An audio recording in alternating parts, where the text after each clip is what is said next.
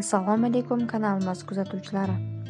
22 may kuni muqimiy nomidagi o'zbekiston davlat musiqali teatrida ustoz san'atkor o'zbekiston xalq artisti mirza azizovni xotirlab ehson dasturxoni yozildi. Marosimda ustoz san'atkorning muxlislari do'stlari madaniyat arboblari shoiru yozuvchilar va teatr jamoasi qatnashdilar. O'zbekiston xalq artisti mirza azizovni xotirasi yod etilib qur'on tilovat qilindi. Eslatib o'tamiz 22 may kuni mirza azizovning tavallud topgan kunlari.